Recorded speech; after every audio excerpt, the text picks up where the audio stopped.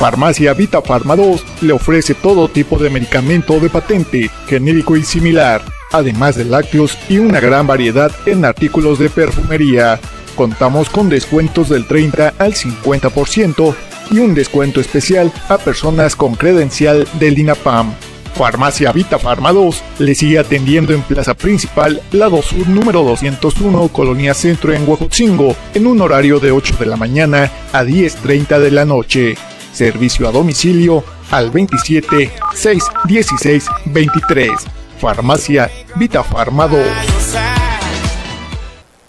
En cuanto a lo correspondiente a la información de interés general, dentro de lo que corresponde a alguno de los municipios del octavo distrito, así como a nivel estado, se encuentra Coronango entre los beneficiados de aprobarse reforma para la regularización de espectaculares. Durante la sesión del pasado lunes 24 de septiembre, el diputado del PT, Valentín Medel Hernández, quien propuso reformar la fracción 26 del artículo 5, el artículo 143 y la derogación de los artículos 143 bis, 143 ter, 143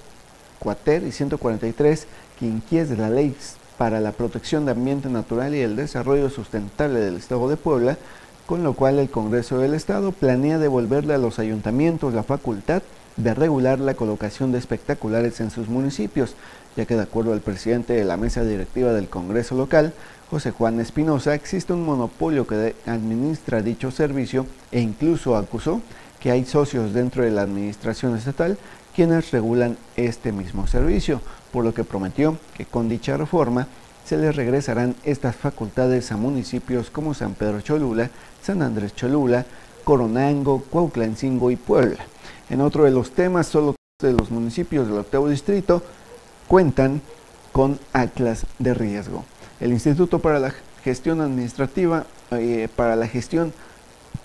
Administración y Vinculación Municipal, el IGAVIN, reveló que únicamente el 17% de los 217 municipios del estado han publicado su atlas de riesgo en sus portales electrónicos, lo equivalente a tan solo 37 municipios en el estado. Esto a pesar de que en septiembre del año pasado, después del terremoto,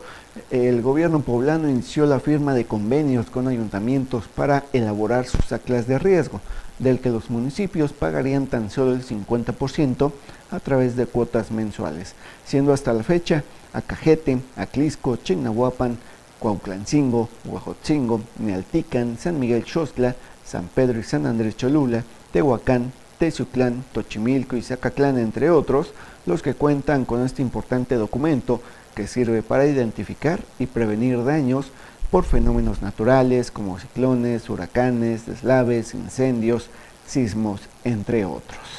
Por otro lado, Fiscalía gira circular para localizar a menor que desapareció presuntamente en Domingo Arenas. La Fiscalía General del Estado de Puebla, en atención a un servicio social, giró una circular a través de redes sociodigitales para solicitar la colaboración de la ciudadanía y de los medios de comunicación y con ello agilizar la búsqueda y localización de Mauricio Guzmán Maldonado, de 17 años de edad, quien, de acuerdo a los padres del menor,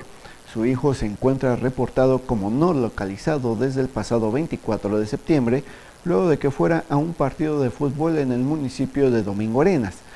Eh, como señas particulares, Guzmán Maldonado tiene una cicatriz en la frente y un lunar en el cuello del lado izquierdo. Mide unos 52 metros, es de complexión delgada y tez blanca, cabello corto, lacio y negro, de ojos chicos color negro, nariz recta y boca mediana, y vestía short negro con franjas naranjas, playera verde de México y tenis azul con blanco, por lo que si cuenta con cualquier tipo de información que ayude a localizarlo, favor de marcar al teléfono 01 22 22 11 79 00 extensión 3030. En otra de las notas, aseguran en Huajotzingo unidades cargadas con hidrocarburo. Policías federales lograron durante un patrullaje en calle Real de Puebla, en Santana, Xalmemilulco, junta auxiliar perteneciente al municipio de Huajotzingo, el aseguramiento de una camioneta tipo vagoneta marca Chevrolet Econoline color café con placas de circulación MGL 9496 del Estado de México, en la cual encontraron en su interior dos, contenedores de mil litros abastecidos con hidrocarburo cada uno, así como una camioneta Nissan en color rojo con placas de circulación KX45090 con reporte de robo, la cual transportaba dos contenedores de plástico con aproximadamente 2.000 litros de hidrocarburo, por lo cual, junto con las unidades, fueron puestos a disposición de la gente del Ministerio Público de la Federación. Y en otra más de las notas también correspondientes a la cabecera distrital, choque entre dos camionetas a la altura de Huejotzingo deja dos lesionados. Un aparatoso choque se registró en la tarde de este martes entre dos vehículos que circulaban en la carretera federal México-Puebla a la altura de la empresa denominada Agua Azul en el municipio de Huejotzingo. Los vehículos involucrados fueron una camioneta Nissan modelo NP300 color blanco con plataforma y placas de circulación. SM52-259, mientras que la segunda unidad fue una camioneta Nissan Pickup con placas SM17179 que terminó por volcarse tras el fuerte choque, dejando gravemente heridos a ambos conductores, quienes tuvieron que ser atendidos por paramédicos para posteriormente ser trasladados de emergencia al hospital de la región, mientras que elementos de vialidad estatal se hicieron cargo de los peritajes para deslindar responsabilidades. Y de aquí pues nos vamos a la información correspondiente a nivel estatal porque pues bueno le, le comento que ocupa Puebla el tercer lugar nacional en producción de carne de cerdo. El gobernador Tony Gale inauguró la, el 17 encuentro nacional de porcicultura que se desarrolla del 25 al 27 de septiembre en la capital para intercambiar experiencias exitosas y abordar temas como el impacto económico que generan las enfermedades en los porcinos para esta industria. El mandatario aseguró que Puebla ocupa la tercera posición a nivel nacional entre las 10 entidades de mayor volumen de producción porcícola, con un incremento del 35.5% del 2016 a 2017, lo que permitió obtener ingresos por 6.909 millones de pesos. Finalmente, realizó la entrega de certificados en buenas prácticas a Granjas Carroll de México y a las empresas agropecuarias SAM, Socorro Romero Sánchez, Rafael Abrego y Lavín Productores. En otro de los temas, registra Puebla también un 23, eh, mil millones de pesos por turismo en 19 meses de gobierno. En rueda de prensa, el secretario de Cultura y Turismo en Puebla, Roberto Trauch